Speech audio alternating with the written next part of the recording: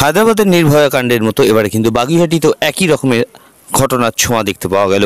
এদিনকে বাগুইহাটির একদম জগৎপুর সংলগ্ন জ্যোতিনগর এলাকায় একটি মানসিক ভারসাম্যহীন মহিলাকে উদ্ধার করেন স্থানীয় বাসিন্দারা। সেখানে কিন্তু মহিলাকে অচৈতন্য অবস্থায় পাওয়া গেলেও তার শরীরে কিন্তু বিভিন্ন জায়গায় নানান রকম ক্ষত দেখ- দেখতে পাওয়া গিয়েছিল। এছাড়াও মহিলার পোশাকেও বেশ অসংলগ্ন অবস্থায় দেখতে পাওয়া গিয়েছিল বলেই স্থানীয় বাসিন্দাদের সন্দেহ হয়। এরপরেই বাগুইহাটি থানায় কিন্তু তারা খবর দেয়। বাগুইহাটি থানার জগৎপুর ফাঁড়ি, তারা কিন্তু উদ্যোগ গ্রহণ করেন এবং মেয়েটিকে উদ্ধারের কাজ শুরু করেন। তবে মনে করা হচ্ছে মেয়েটির সঙ্গে কোনো খারাপ কাজ ঘটে গিয়ে থাকতে পারে। ওকে আমরা আমরা আমি ওকে নিয়ে কিছুদিন আগে বলেছিলাম যে ও জগৎপুর বাজারেই আমি ওকে ঘুরতে দেখেছিলাম।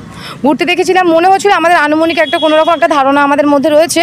আমরা সেই ধারণাটা ধরেই এগিয়েছি এবং ডক্টর ওকে তো ইউরিন টেস্ট করতে বলেছে এবং আমি ওকে জ্যোতিনগরে খুঁজে পেয়েছি। আমাকে একজন খবর দিয়েছে, দিদি, এরকম একজন সেই মহিলাটাকে খুঁজে পেয়েছি, তুমি একটু তাড়াতাড়ি আসো। আমি ওকে গিয়ে ধরতে গিয়ে দেখি ও পুরো অচৈতন্য অবস্থায় রয়েছে ওর মতো করে ও। কিন্তু আমার একটাই কোয়ারিশ প্রশাসনের ডাকের ডগায় কী করছে? প্রশাসন কি এখনও অবধি কোনো রকম চোখে দেখতে পাননি যে এরকম একটা ভারসাম্যহীন মানসিক রোগী অচৈতন্য অবস্থায় রাস্তা থেকে ঘুরছে? প্রশাসন কি করছে? স্থানীয় অবস্থায় ওকে পেয়েছি। ও মোটামুটি মানে একটুখানি খোলামেলা অবস্থায় ছিল এবং ও নিজেকেও খোলামেলা করে রাখছিল।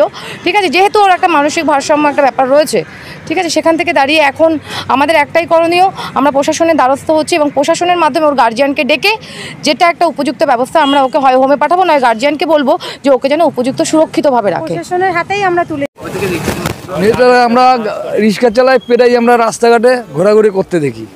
আর মেয়েটার মাথা একটু অন্যরকম। কম না। আজকে আমি দেখিনি আজকে আজকে আমি দেখা যায়নি। এমনি পেরাই আমি দেখি রাস্তাঘাটেও ঘোরে। আর আছে। এই জগৎপুর কখনো বাগোয়াটি আমার মিদা মার্কেট নানা রকম জায়গায় দেখা যায়।